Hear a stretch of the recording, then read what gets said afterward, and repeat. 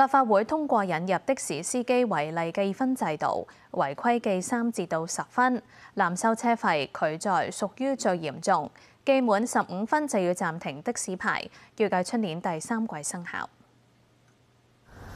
的士服務質素多年備受爭議，當局決定引入司機違例記分制，司機違反道路交通條例入邊十一項行為，會記三至到十分，最嚴重嘅係濫收車費、拒載同埋更改咪標等等，記十分。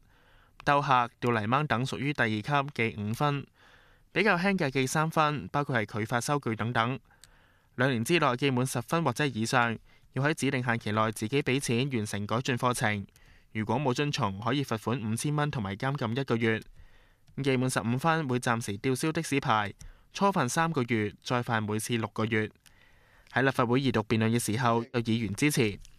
黑的猖獗、拒載、濫收車資、劏遊客嘅新聞屢見不爽，經常鬧到滿城風雨。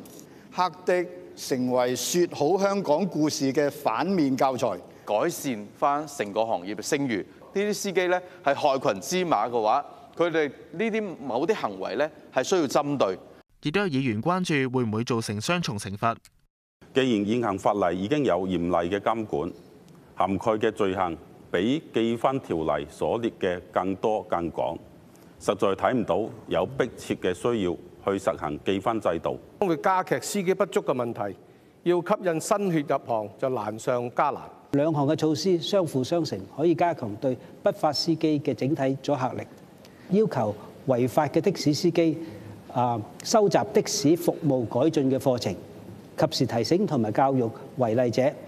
咁最終記名表決以六十八票贊成、三票反對、十三票棄權通過條例草案，會喺九個月之後生效。